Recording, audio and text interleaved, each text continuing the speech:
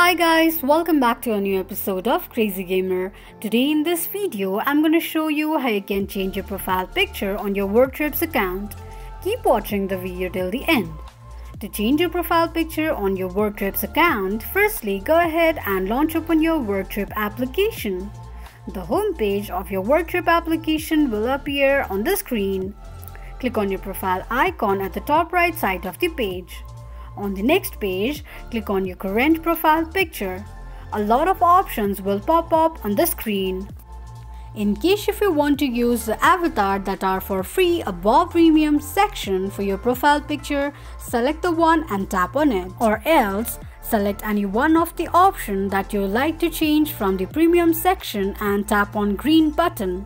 You will need to spend certain coins in order to select those avatars. Click on the green button pay for the avatar and that's how you'll be able to change your profile picture on your WordTrips account quickly and easily just in few steps.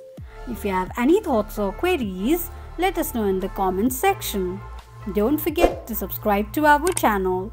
Also press the notification bell icon so that YouTube will notify you whenever we post a new video. I hope this video was helpful to you. Thank you so much for watching.